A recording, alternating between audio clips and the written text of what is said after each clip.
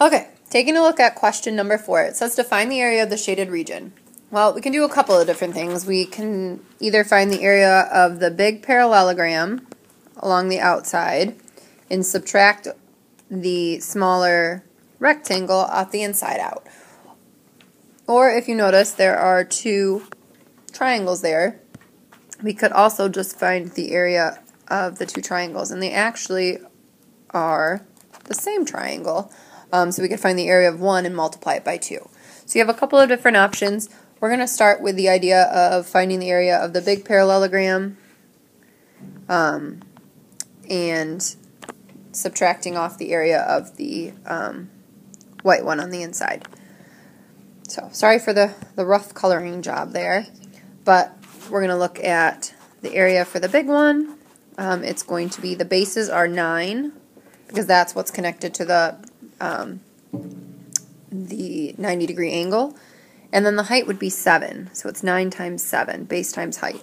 9 times 7 is 63, so our area of that big piece is going to be 63 inches squared.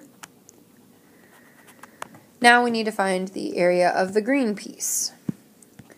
Um, so that is just uh, another rectangle, so it's just going to be base times height, and in this case it is 7 times 6. 7 times 6 is 42, so our area would be 42 inches squared. Okay. Now, to find the area of the shaded region, we are going to take um, our 63 inches squared, and we're going to subtract off our 42 inches. That was the white region. And 63 minus 42 is 21. So we end up with our area equaling 21 inches squared.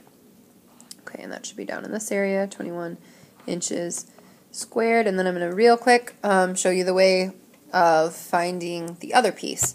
Okay, so let's say we wanted to find this piece instead.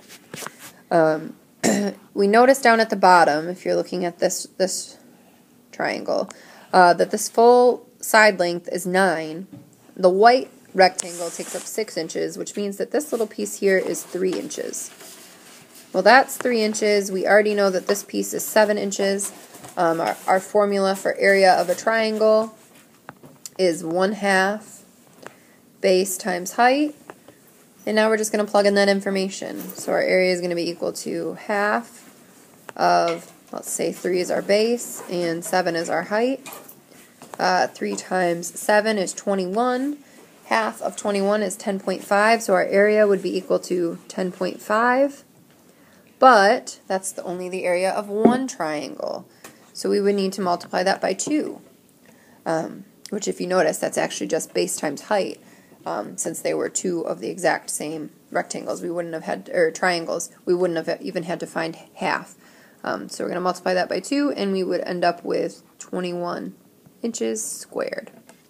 So same solution, either way you solve it. If you guys have any questions on number 4, please feel free to email me.